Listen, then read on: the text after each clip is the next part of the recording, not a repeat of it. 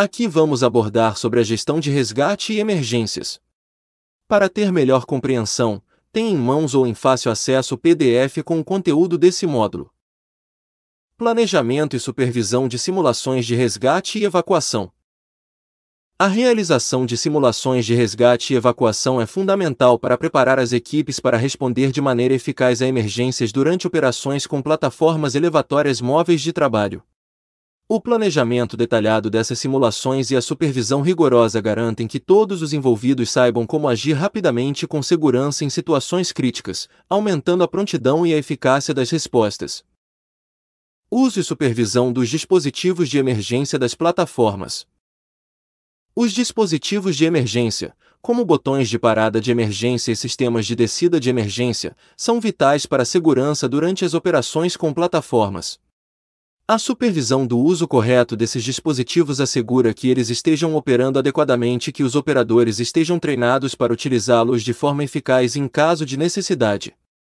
Isso é essencial para prevenir ou minimizar os impactos de potenciais acidentes.